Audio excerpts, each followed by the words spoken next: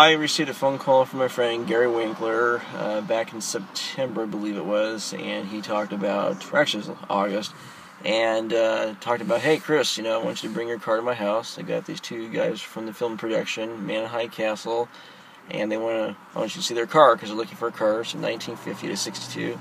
So brought my car to his house. They took pictures of it, sent it to the guy who's the high end of seeing what cars they want to use for the show, and they called back a week later and said we would like to have your car, and I said sure, and I went from there.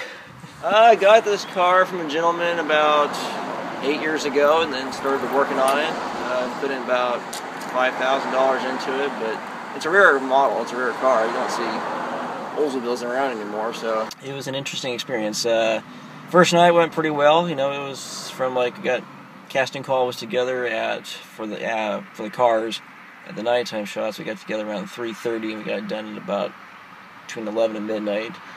The sec- two weeks later, we second night we got done at about we started at 4:30. We got done at 5:30 the next morning. But they treated us well, you know, snacks and water and whatnot, and awesome catering, and it was it was a lot of fun. It was a good experience.